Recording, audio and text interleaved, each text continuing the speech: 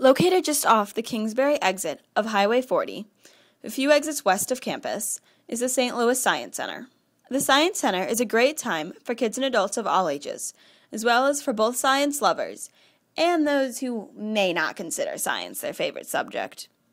The Science Center features many exhibits, including Cyberville, which explains technology to kids through activities such as creating your own web page, which you can view later at home, programming a train to move forward or backward and to move at various speeds, playing a laser harp, and making music while playing hopscotch.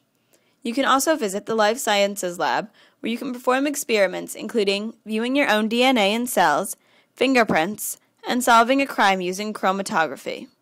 At the lab, you often have the opportunity to watch scientists at work as well. Looking for more? There are 10 minutes science shows on various topics every hour at the center stage, as well as an always changing large exhibit, usually located at the Exploradome. The last two have been about pirates, and one entitled Grossology The Gross Functions of Your Body.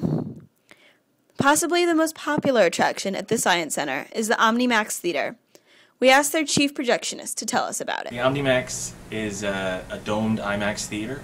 It's an 88 foot diameter screen uh, that shows 70 millimeter film, uh, standard IMAX stock film generally. Um, we've been here since uh, 1990. I'm the chief projectionist, so I uh, assemble the films as they come in. They usually come in in pieces, and I'm responsible for maintaining all the equipment in the in this system, which it's a 15,000 watt water cooled xenon lamp um, that you know, being water cooled has a, a coolant system, and uh, the system also has pressurized air, and all the electrical involved in that, um, and the audio system. Over here, the uh, for action. This is the reel unit. So the film comes from here. Yeah, it comes from here. That's another reel unit also. Rolls, rolls through there and all the way up the projector comes back down, it's taken up on this splatter right Very cool. Cool? Yeah. Thank okay. you very much. You're welcome. Here. Ready to see a breathtaking IMAX picture in the wraparound domed OmniMax Theater or explore the exciting and free exhibits? The St. Louis Science Center would be glad to have you.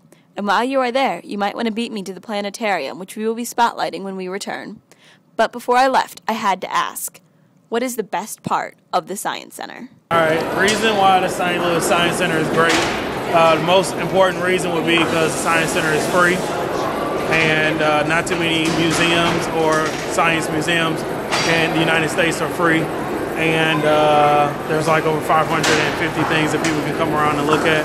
And we also have like a whole bunch of exhibits that come throughout the year. So that, that would be the most important reason why the Science Center is free.